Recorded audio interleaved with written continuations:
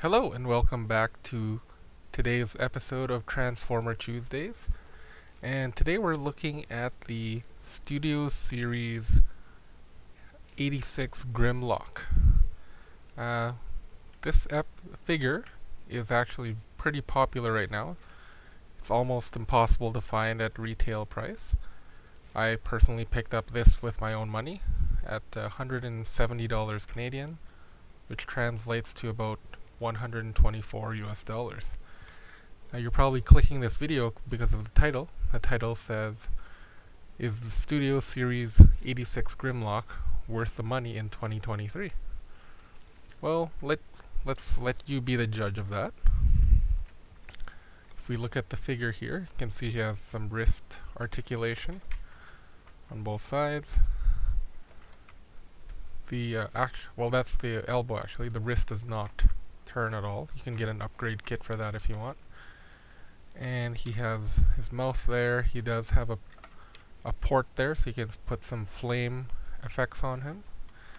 One uh, flaw that people have pointed out is he does not have any front teeth at the top and bottom. And the transformation is actually really good on this thing. He does come with a little wheelie, but you've seen that all everywhere there. And let's just do a quick transformation of him, shall we? Okay, let's uh, start with, let's see, we can start with the feet here. So let's just push this apart, pull that apart. Okay, so let's loosen everything here, loosen that. Okay, so that's taken apart here.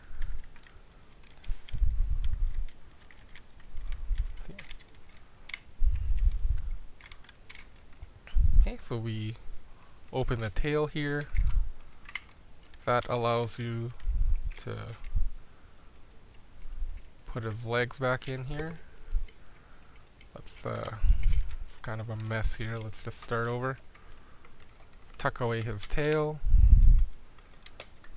Tuck away the other side of the tail there.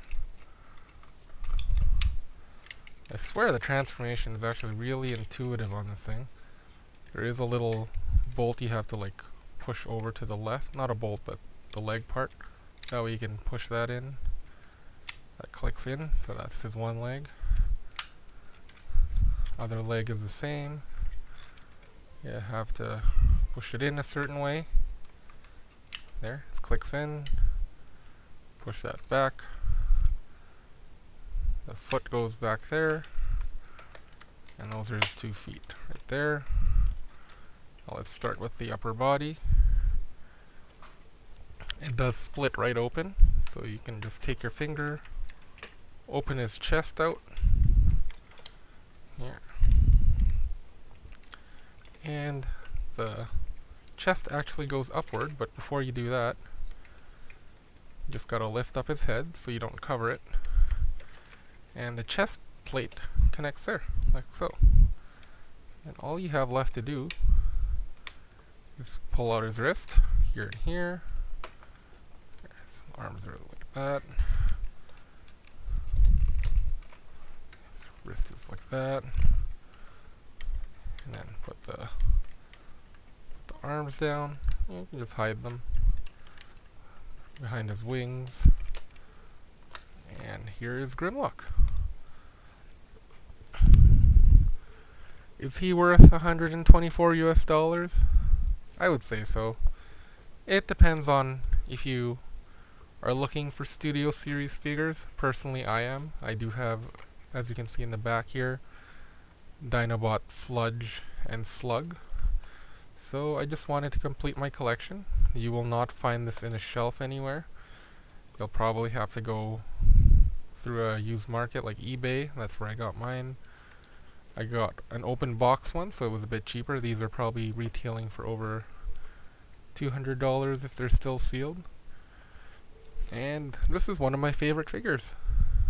And the reason why is I, I do love the character Grimlock. He's one of my favorite characters in Transformers. And the transformation is actually really quick, really simple, fun to transform, and he is huge.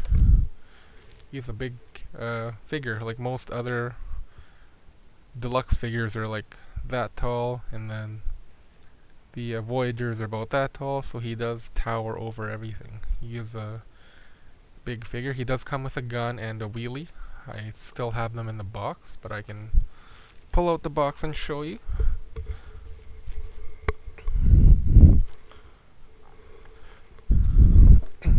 Here's the box here. Wheelie's in there. The gun is still there. I haven't even pulled them out yet. I can take Wheelie out if you want to see him. Do that now.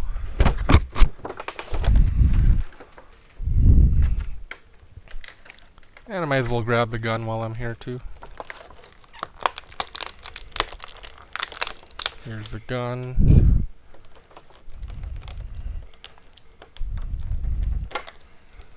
One of the biggest complaints with this figure isn't even Grimlock. It's Wheelie himself. He doesn't have any movable knees or elbows. So he's kind of just stuck like that. Just sit him on his shoulder or something like that.